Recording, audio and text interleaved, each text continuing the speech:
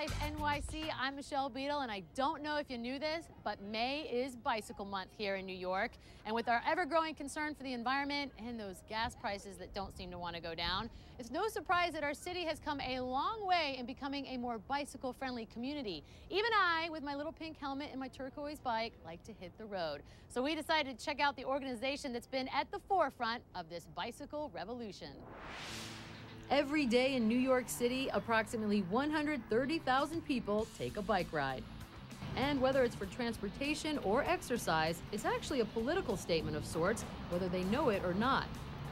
That's because there's an ongoing battle for the city's streets. Cars and trucks that once ruled the road are now competing with growing numbers of cyclists who dare to brave the infamous New York traffic. It's a little bit of wild, wild west. We want people to obey the rules, but there's a craziness in the city where there's this thing, I guess you, if you get no respect, you give no respect. So the cycling community uh, really needs some to hear from the city. Bill DiPaola is a pioneer of the cyclist movement. 21 years ago, he started a grassroots environmental group called Times Up, focusing on issues like pollution, green spaces, and sustainability. But their message fell on deaf ears. That's when Bill banded together the fragmented community that was using their bikes as a healthy, non polluting form of transportation and made them his base.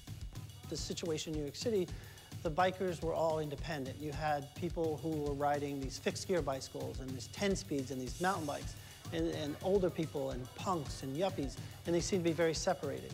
And the group rides, when you're riding together, it kind of builds kind of a strength Group rides quickly gained popularity. Time's Up continued to stage rides that were fun, charitable, and often political.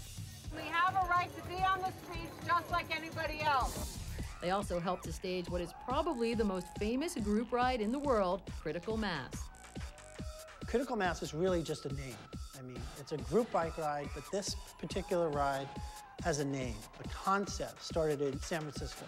And the concept is there are really no leaders, no, no rules pretty much, but you should work together as a community.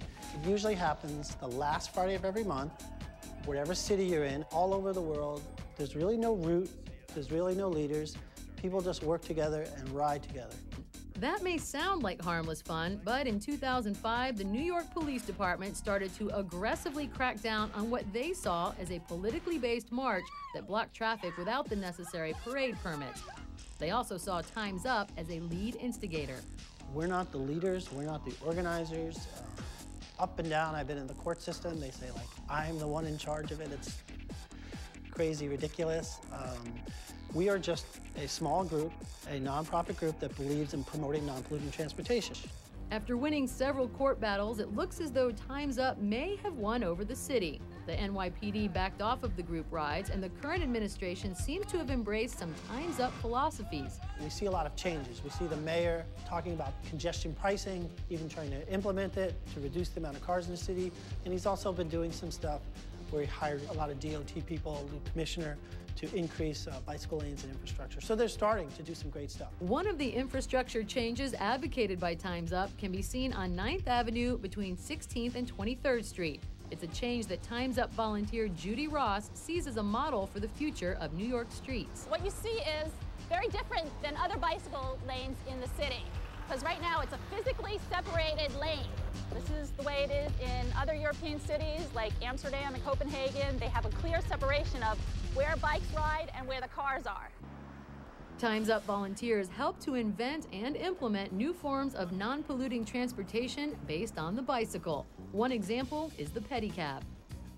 Pedicabbing is a kind of safe, clean alternative to the noise and the pollution that is accumulated by the cars passing by. I mean, I live in Hell's Kitchen, and I definitely can tell you that if there were about a thousand less cars on the street, I'd be a happy person. And that's who Bill DiPaola ultimately sees winning the battle for New York City streets. Hybrid forms of transportation, some of which will be born from a bicycle revolution. The pedicabs are this great combination where they have a, a little electric motor and you start pedaling and then at a certain speed, the electricity takes over. Um, so there's going to be uh, kind of a, this thing from high tech to low tech, which I think is going to be great. The fact is that people don't all have to look the same or behave the same. There could be punks or yuppies, and they couldn't have fun and do something good for the planet. Up next, a gifted athlete defeats her critics.